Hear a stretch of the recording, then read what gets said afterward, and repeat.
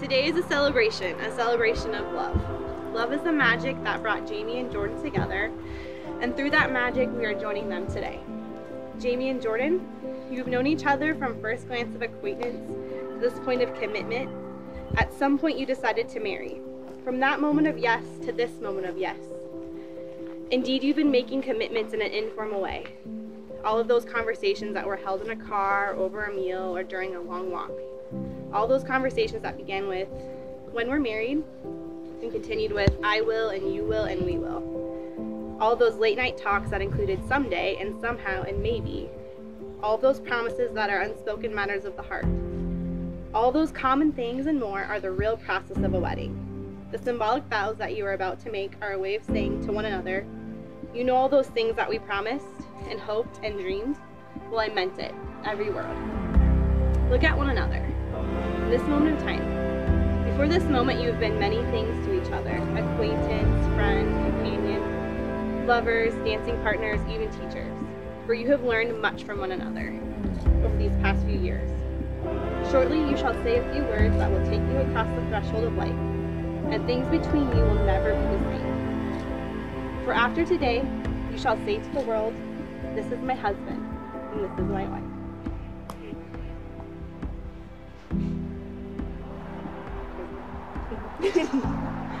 Jordan, repeat after me.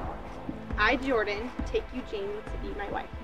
I, Jordan, take you, Jaime, to be my wife, My partner in life and my one true love. my partner in life, and my one true love. I promise to be faithful and supportive I promise to be faithful and supportive, and always make our family's happiness my priority. and always make our, hap- our family's happiness my priority. From this day forward, From this day forward, you will not walk alone. you will not walk alone. My heart will be your shelter, My heart will be your shelter, and my arms will be your help. and my arms will be your home. Jaime, repeat after me. I, Jaime, take you, Jordan, to be my husband. I, Jaime, take you, Jordan, to be my husband. my partner in life and my one true love. My partner in life and my one true love. I promise to be faithful and supportive I promise to be faithful and supportive and always make our family's happiness my priority. and always make our family's happiness Our priority. our priority. From this day forward, you will not walk alone. From this day forward, you will not walk alone. My heart will be your shelter, My heart will be your shelter, and my arms will be your home. and my arms will be your home. The marriage ring seals the vows of marriage and represents a promise for eternal and everlasting love. Jordan, you may place the ring on Jaime's finger and repeat after me.